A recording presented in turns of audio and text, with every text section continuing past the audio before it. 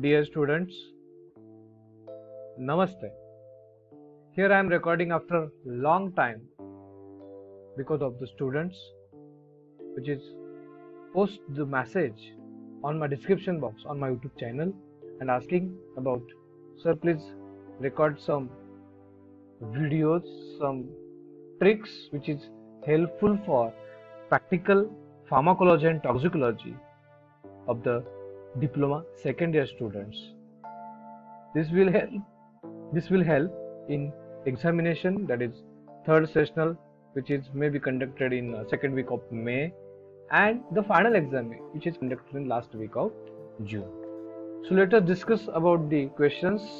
And here is the first question or the first image which is uh, showing in front of you what is the effect of calcium chloride on frog heart dear students whenever the calcium क्लोराईडचा dose हा हार्टला दिला जातो त्यावेळेला तो systole दाखवतो. म्हणजेच heart rate आणि force of contraction हे इन्क्रीज होतात. तुम्ही बघितलं तर हे नॉर्मल ॲक्टिव्हिटीपेक्षा हा ग्राफ इन्क्रीज झालेला आहे.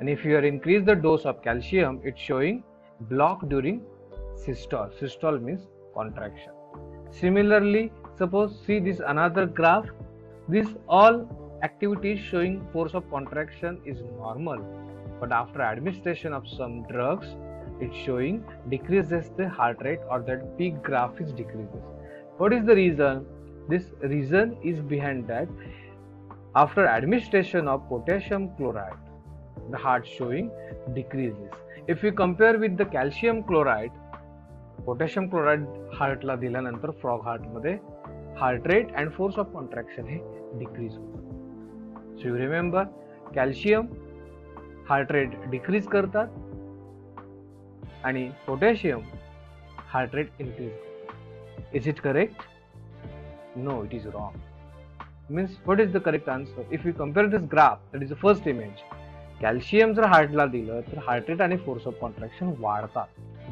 बट पोटॅशियम दिल्यानंतर heart rate and force of contraction कमी होतात. याचाच अर्थ असा आहे हार्ट रेट आणि फोर्स ऑफ कॉन्ट्रॅक्शन ज्यावेळेस वाढतात त्यावेळेला आपण पॉझिटिव्ह आयनोट्रॉपी आणि क्रोनोट्रॉपी म्हणतो. हार्ट रेट आणि फोर्स ऑफ कॉन्ट्रॅक्शन डिक्रीज होतात. त्यावेळेला आपण काय म्हणतो?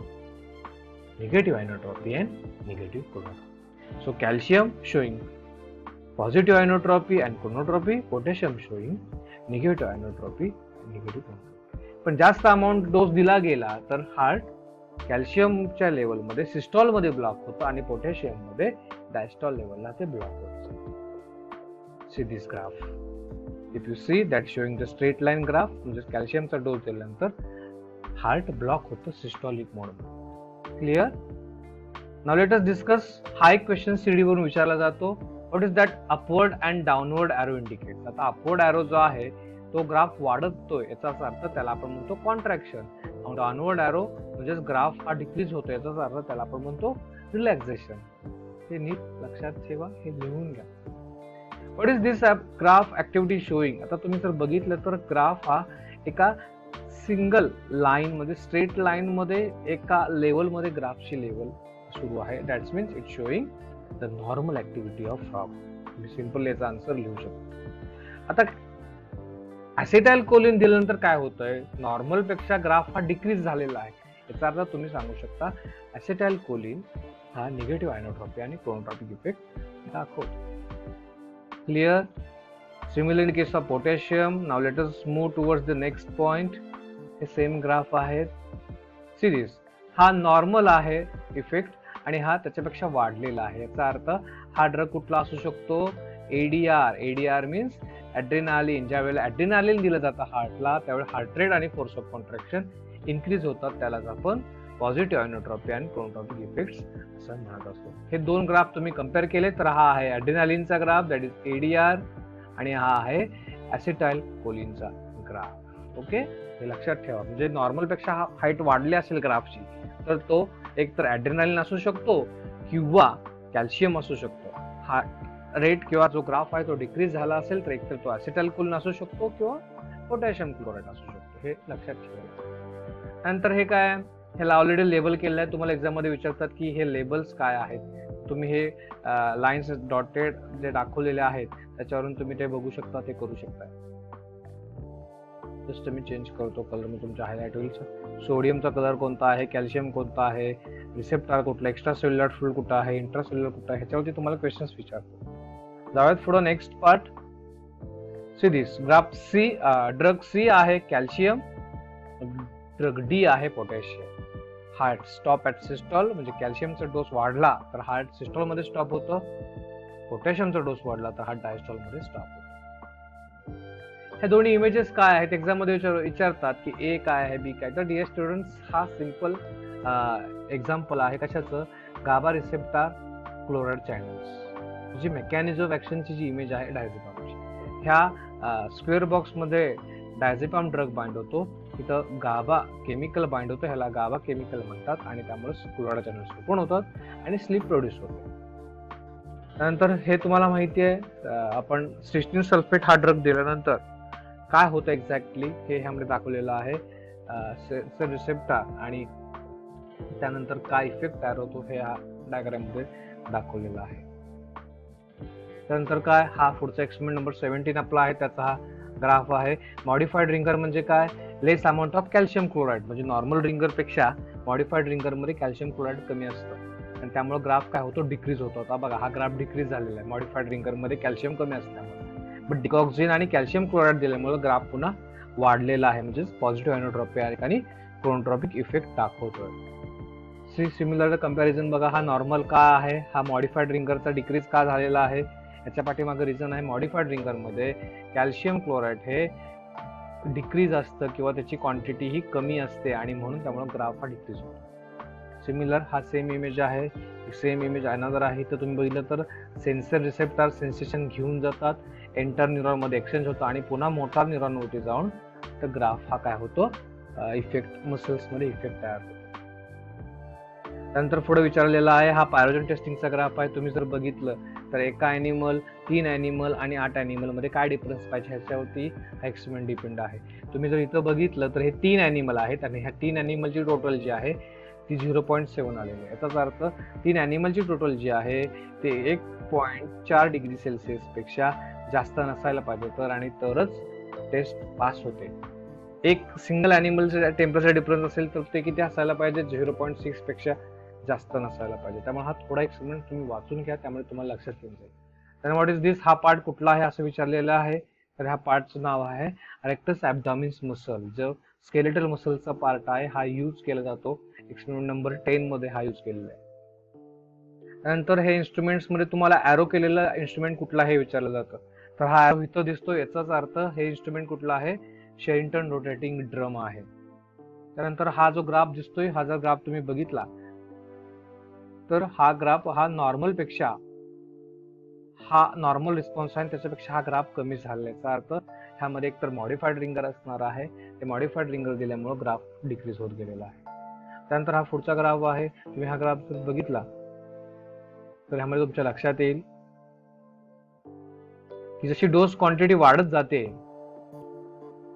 सिरीज ह्या डोस क्वांटिटी वाढत गेल्यानंतर ग्राफ सुद्धा हायटेचे काय होते? वाढत झालेले आता हा ड्रग बेरियम क्लोराईड आणि ॲसिटाल कोलिनचा ग्राफ आहे ज्यावेळेस हा स्मूथ मसल्सवरती दिला जातं त्यावेळेला कॉन्ट्रॅक्शन होतं आणि म्हणून फोर्स ऑफ कॉन्ट्रॅक्शन किंवा हाईट रिस्पॉन्स हे जास्त दिसत आहे.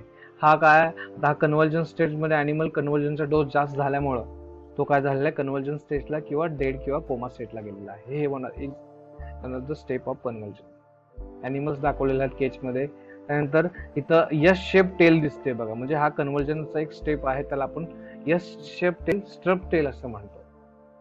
त्यामध्ये हिस्टामन एरोसोल चेंबर आहे हे पार्ट जे दाखवलेले आहेत हे ऑक्सिजन के सॉरी प्रेशर तिथून सप्लाय केलं जातं ती ही ट्यूब आहे जिथं प्रेशर मेंटेन केलं जातं आणि हा जो तो सेकंड ॲरो दाखवलेला आहे त्याही हिस्टामन एरोसोल चेंबर आहे. नंतर हा पुढचा ग्राफ आहे. हा ग्राफ तुम्ही बघितला तुम्हाला विचारलं जातं की ड्रग सी आणि ड्रग टी मध्ये काय डिफरन्सेस आहेत? तर सी आणि टी मध्ये डिफरन्सेस तुम्ही बघितले तर सी मध्ये आपण सलाईन दिलेला आहे. आणि सलाईन दिल्यामुळे ब्रांकोस्पाझम दिसते डिफिकल्टी इन ब्रिदिंग दिसते हे ड्रॉप दिसतंय डीप ॲबडोमिनल ब्रिदिंग करतोय तो. बट डायफिल हायड्रामाइन जो अँटीहिस्टॅमिनिक ड्रग दिलेला आहे त्यामुळं ॲनिमल बिहेवियर काय करतोय? नॉर्मल करतो म्हणजे कुठलेही इफेक्ट्स याची कॅरेक्टरिस्टिक्स आहेत हे दिसत नाही. हां. आणखीन एक इमेज आहे. ह्या इमेजमध्ये तुम्ही बघितलं तर T stands for test drug C stands for control drug हे हिस्टामन युरोसल चेंबर आहे. हा पॉईंट कुठला आहे? एक्झाममध्ये विचारतात तर ह्याला फोटो सेल्स तिथून लाइट सोर्स आणि फोटो सेल्स एक्टोफोटोमीटरच्या पार्ट्समध्ये दिसतात. त्याला आपण ह्याला म्हणतो फोटो सेल्स इथं विचारलं जातं की हा रूट ऑफ ॲडमिनिस्ट्रेशन कुठला आहे?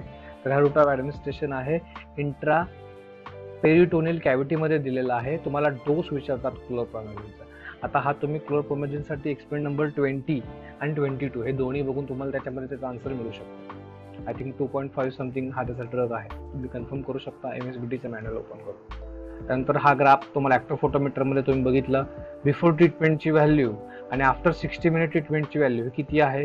या दोन्ही व्हॅल्यू जर तुम्ही कंपेअर केल्या तर ऑलमोस्ट पन्नास टक्के ऍक्टिव्हिटी लोकोमोटर ऍक्टिव्हिटी जी आहे हालचाल जी असते हे पॅरोजन टेस्टिंगसाठी वापरतात. त्यानंतर इथं काय विचारलेलं आहे कुठला ड्रग जास्त ऑनसेट ऑफ ॲक्शन देतोय किंवा फास्ट ऑनसेट ऑफ ॲक्शन देतोय तो तो स्टेस्टिन आहे.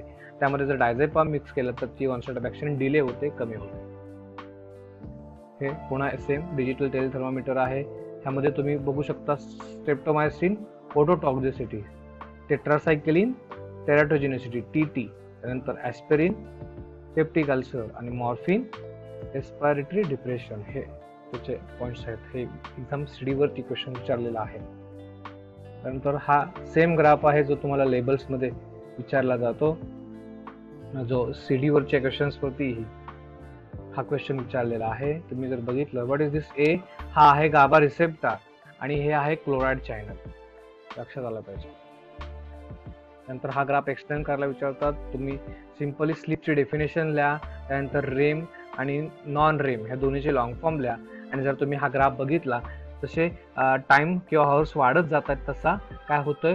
रॅपिड आय मुवमेंट ही स्टार्ट होते आणि नॉन रॅपिड आय मुवमेंट ही डिक्रीज होत होते. हे दिसते तुम्हाला ह्या ग्राफमध्ये व्हॉट इज दिस तुम्हाला विचारतात व्हॉट इज दिस ह्या दोन्ही क्वेश्चन बँक क्वेश्चन मार्क आहे ते फील करा.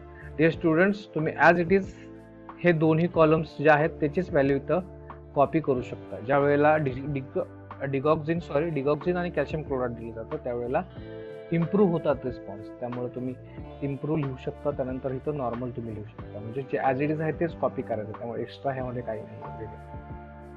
So this is the last image of the today's discussion जे स्टुडंट्सनी मला शेअर केलेल्या इमेजेस होत्या त्यातून हे खूप इम्पॉर्टंट पॉईंट्स आहेत. तर ह्यांनी विचारलेले वॉट इज दिस हे क्वेश्चन मार्क जे आहेत हे तुम्ही कंप्लीट करा हे तुम्ही फिलअप करा. डिअर स्टुडंट्स हे एक्सपेरिमेंट नंबर सेवन्टीन आहे ग्लासेल acid acid I think sixteen असेल not seventeen seventeen is a digital is कार्डिओडोनिक यामध्ये बघितलं तर लेग मुवमेंट्स फास्ट होते लेग मुवमेंट्स थोडी कमी होत जाते आणि पुन्हा डिक्रीज होत जाते. म्हणजे स्टिचिंग दिलं जाईल तसं काय होत जातं? लेग मुवमेंटची डिक्रीज होत जाते. अशा पद्धतीनं शॉर्ट अँड स्वीट व्हिडिओ तुमच्यासाठी मी रेकॉर्ड केलेला आहे. If you have any doubt regarding this point please message me. Already माझ्या यूट्यूब चॅनलवरती मी expand number one two twenty three सगळे व्हिडिओज अपलोड केलेले आहेत. प्लस सी डी बेस्ड क्वेश्चन्सही काही अपलोड केलेले आहेत. त्यानंतर सगळं तुम्ही यूट्यूब चॅनलवरती पाहू शकता. अजूनही काय डाऊट्स असतील तर चॅट बॉक्समध्ये जरूर कमेंट्स करा. Thank you so much for the patience thank you